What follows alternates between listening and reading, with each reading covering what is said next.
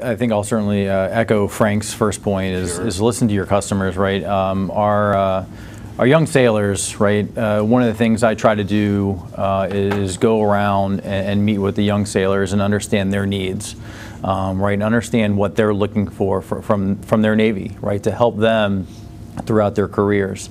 Um, and, and ultimately understanding those requirements will help drive us uh, to the best solutions.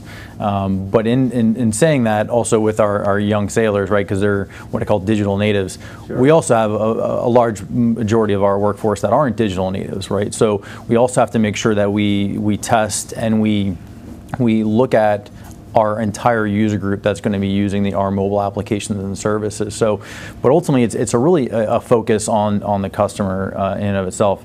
Um, the second, which um, I think we, we we've kind of addressed, is a, a more tailored approach to mobile um, services and, and security and the strategy in which we uh, we which we approach mobility in the DoD. I completely concur. I think we we kind of lack a centralized uh, strategy and ultimately in the DoD, we've got our big DoD 5000, which you know ultimately dictates sort of how we do IT systems development, mobile applications and services. Very different, and it requires a much more tailored approach.